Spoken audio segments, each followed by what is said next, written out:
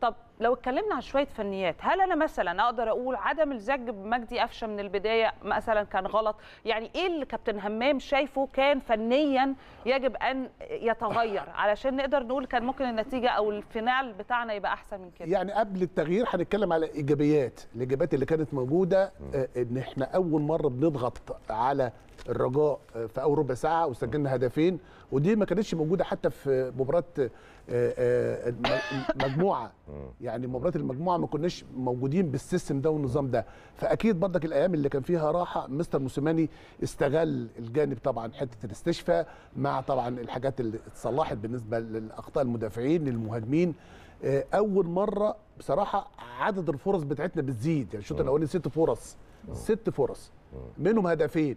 فده بيأكد إن إحنا بقى عندنا آه، آه، يعني جرأة هجومية بقى عندنا آه، توازن في الهجوم بنقدر نوصل للمرمى بشكل كبير. سجلنا هدفين زي ما سامي قال في بداية التلت ساعة الأولى ودي بقى لها فترة ما كانتش موجودة في سيستم ونظام الفريق من في حد فتره ذاته غريب على فكرة إن هي بالظبط. الطريقة دي دايما بتؤتي ثمارها ودايما آه. بنشوف لها انعكاسات طيبة على النتيجة وحتى على الأداء. إحساس اللعيبة إن هم مسيطرين على مجريات الأمور من أول ربع ساعة ولا ثلث ساعة. دايما بتفرق معانا بس إحنا مش دايما بنعمل كده. ليه؟ آه هي هي يا كريم يعني آه، عايز أقول لك إن دي سمة موجودة في أجيالنا كلها.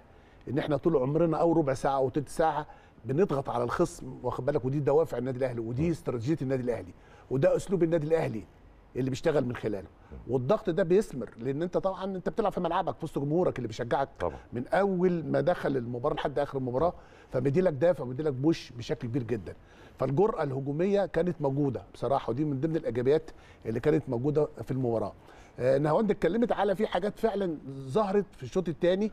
ومنها طبعا ضياع ضربة الجزاء يعني ضربة الجزاء آه، بتاعت. السوليه كانت تقتل المباراه بلغة آه، الكورة آه. مليون في المية يعني ما حدش فاهم آه، إيه. السبب ورا ده يعني يعني يعني لا عمرو السولية مثلا لاعب قليل ولا كانت الظروف مثلا ضدنا ولا في أي حاجة تخلي ده يحصل ورغم ده آه يعني الماتش يعني كان غريب أنا بصراحة. أنا بقول يعني أنا بقول من الناحية الفنية من خلالي بقول إن عمرو قبل ال- قبل ضربة الجزاء ما كانش عمرو السولية يعني ما كانش مركز قوي يعني ما؟ كانش أداؤه اللي هو معودنا عليه فكنت بتكلم مع كابتن سامي قبل ما نطلع على الهوا. كان ممكن كان ممكن يبقى رقم اتنين صح. في التصنيف.